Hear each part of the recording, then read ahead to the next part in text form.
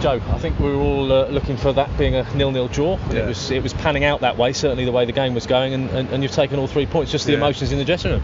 Um, the relief for the end getting the goal, but I think we started a bit slow and it was a bit sticky and we weren't great today. I don't think we, we know we can do better, but yeah, it's the first game of the season and all we wanted was three points and that's what we got in a clean sheet. So can't ask much more really. Can you be overcooked? Because it felt almost you wait that extra week. It was Yeah. it's almost you were too ready in some yeah. respects. Yeah, I know. I thought that, but I don't know. It just didn't click a bit like first half, Mm. but um, but we got we got time. We got time to work on it and get better. But yeah, like I said, three points is the main thing. and We did that, so everyone's happy. Does it take a little bit of time to, to integrate new players? I know that they've had the, the summer period with training, pre-season training, etc. But you, nothing's like a game like Yeah, this. nothing- Nothing is like it, is no, it? No, you can play as many pre-season friendlies as you want, but when it comes down to a league game, it's totally different. You've got to get up to speed straight away, and that's what I think that's what we need to. We, we were doing first half, getting up to speed and sharpness, and at the end uh, they tired, I thought, and we were, we looked a bit more fitter in them, and yeah, we looked like we, we got the goal. So yeah, Tough, tough side though to, to, Yeah, to come up with on the first game. You know, they had a game plan. They were very difficult to break down, and they did Yeah. what they did quite well. yeah. Well, Portsmouth couldn't score past them last week, and I think they yeah they're, they're going to be a solid team all season. I think Yeah. they won't let many goals in.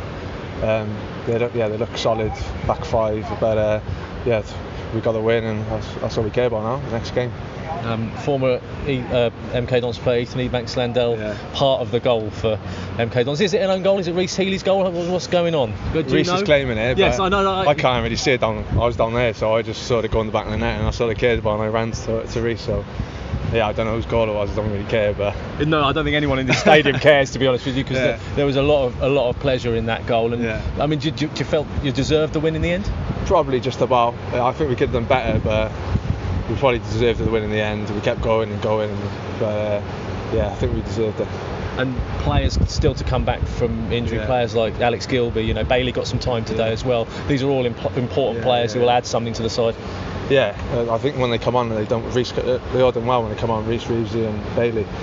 We had a strong bench today. Like any, any of them could have started of anyone, and yeah, we got a, we got a strong squad. We got to all push each other. Everyone wants to start, but uh, it's all half the competition. Talking of competition, Russell Martin's back there shouting the orders. He's very vocal, isn't he? Yeah. Telling everyone what to do and have it. You know, you're an experienced player, Joe, and then you've got Russell Martin next to you, who's got Yeah. probably even more experience. Yeah. I mean, he's experienced back line. Yeah, he's Russell's got all the experience. He's played international football, he's played Premier League football, and he knows what he's talking about. So uh, it's important that he, he, he, he plays a big part in the team and the dressing room, getting everyone going. And he's, he, he coaches people as well, and yeah, he's a massive help to me and all the other boys in the change room. And I think he's a classy player. Shows on the pitch. Okay. Yeah, if I can. Um, next up, then uh, in the League Cup, it's AFC Wimbledon. It's that game that, of course, Milton Keynes Don supporters look forward to. I think, to a certain extent, the rivalry's there. You, you know all about this game. What, Yeah. what, what are your feelings ahead of it? Um, I haven't really thought about it until like now after the game. All I was thinking about was the Shrewsbury game. But yeah, we're going to look forward to it. Everyone's going to be excited for it. All the fans are going to be up for it. So yeah, it's going to be it's going to be good. It's going to be, everyone's going to go for it, and we want to get into the next round. Does, does, does the kind of abuse that you might face ever faze you when you're playing, or do you, do you- I mean, do you hear any of it, or? Yeah, you hear it, but it don't it don't faze you. It's football, and it's you you know what you're going to get.